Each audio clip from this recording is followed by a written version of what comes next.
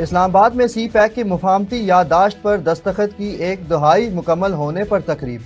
वजी अजम मियाँ मोहम्मद शहबाज शरीफ का तकरीब से खिताब में कहना था मेरे कायद मोहम्मद नवाज़ शरीफ ने चीनी सदर के साथ मिलकर सी पैक का सफ़र शुरू किया।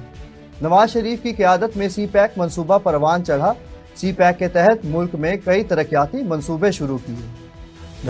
Pakistan Economic Corridor, a flagship project of the Belt and Road Initiative, can be a game changer for connectivity, stability, peace, and prosperity in this entire region.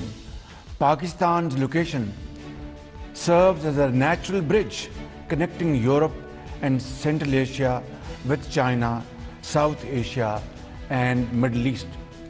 Special economic zones being set up under the CPEC framework have direct access to our ports, which can serve as convenient conduits for regional trade promotion.